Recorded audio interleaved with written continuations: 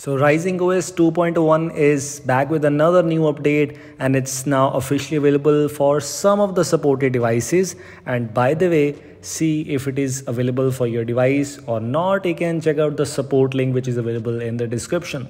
With this new update as uh, this is having the latest security patch by the way as you can see 5th of April 2024 which is quite good. Some of the features are missing from this update yeah, as compared to the last one although some very useful and interesting customizations features are there. So let's get started let's find out some of the things which are included here and make sure to watch this video till the end video could be quite interesting for you Moving on to some of the changes which we have, for example, if you move on to the wallpaper section, you will see some interesting wallpapers are included. Like for example, we have nothing 2a wallpapers are included. So in case you don't know, you want to try out nothing 2a wallpapers, these are included by default. You can use them and apply them on your device. This is another new collection and some of the wallpapers look quite good by the way. This second one which I have applied already looks interesting one first one. If you are a dark mode user then you can try out this one. We have Pixel 8a wallpapers are included too I guess. I think so these are available. We have Rising OS, Rising OS 2.0. The wallpapers which I already shown you a lot of time ago actually. These are also present some Pixel Super Fans edition. So yes in the terms of wallpapers there are many wallpapers available. We have nothing wallpapers. We have Midjourney rising beauty and a lot more things in a collection. Second most interesting thing what i found right now is the ios style lock screen. And it is not with a depth effect wallpaper but just if you apply ios style clock in the lock screen you will see these widgets and this is looking super interesting you can also change it. It's available. Uh, we have many options already available. I tried ios style. It was looking so good. You can also try oxygen os style. Ios style is already good because with the widgets which are pre-installed are looking super good here. And you can try any other widget any other lock screen clock. A lot of custom clock styles are available. And i'm not saying this is a unique feature because it's available in some other custom ROMs too.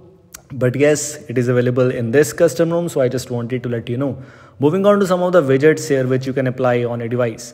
We have two options for the big widgets. For example if i try these two widgets here let me show you. I just applied them open my lock screen here. You can see these two widgets are here just below the lock screen clock the one which you have applied. For example i applied this one. You can choose other mini widgets too. Approximately four mini widgets which you can apply on a device. And it depends upon you which thing you want to choose.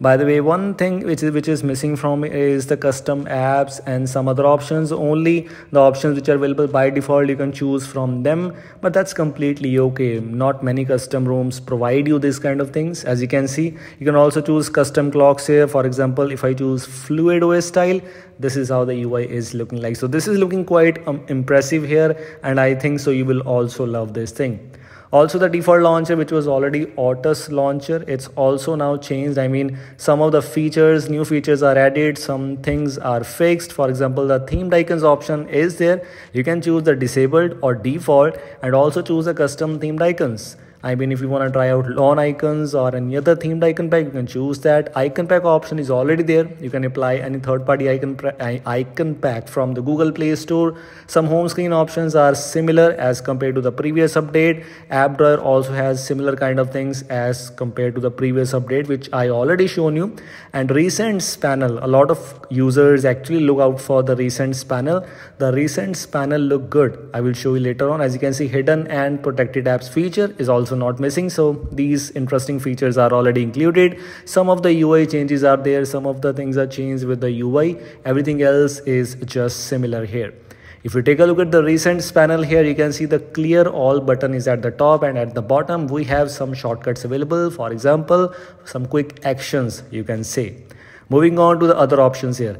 Island notification was already there. With this new update, some of the features, I mean, some of the things are changed or some of the apps are updated with this, are integrated with this, contacts, messages, etc. So more app support for this island notification. I'm not exactly sure how many of you use this thing, but it's available. So I just wanted to let you know. Moving into the miscellaneous options, you will see some spoofing options are still present here, like swipe to screenshot, Netflix spoofing, but you can see we have enabled GMS spoof options available, which means you can see spoof your device to pass Google Play attestation, and the quick switch is missing from here. If you remember, if you watched my previous video, Rising OS came with Nothing OS launcher, but for now, while making this video with this new update, Nothing OS launcher is dropped, and maybe with just upcoming days, you will get nothing launcher back again because this is a major update. This is based on qpr2 a lot of custom ROMs are actually giving you some features less features so that might be included with the new update. But for example for now it's not there so i just wanted to let you know Having a look at all the features here, you already know. This brings you some very useful features and customizations. For example, lock screen has a lock screen clock styles and some gesture options are there. We also have some fingerprint customizations and in the theming section, you have the option for custom fonts for example, the font picker is also quite interesting one. Not every custom ROM brings you this one. I guess Matrix OS is one of them which is bringing you almost similar kind of customizations. Although this Rising UI main focus is on the UI changes as far as I know because if you take a look at the customizations, most of the customizations and features are present in some other custom ROMs too. But in the terms of UI, there are many UI changes available. Even in the setting style, even in uh, some UI changes everywhere. You can see the cloned apps feature is also present here. Although not every app can be cloned but this can be unlocked very easily by just installing a PixelXpert magisk module and you will be able to unlock or you will be able to clone all the supported apps or basically all the apps which you have installed on your device.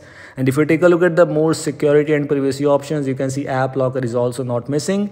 It is available there. You can choose and install this thing Right now, while making this video, it's available for some of the all officially supported devices. If your device supports official version, check it out. The support group link is already available in the description if you want to know more i mean uh, if it is working fine for your device if it is having any bugs or etc definitely there is a support group just for these. So you can check it out in case you want to. I will provide you the link in the description for all the official supported devices basically a support channel or support group. So you can update channel basically. You can check out and find out if it is available for your device or you can also check out your device community group for more information.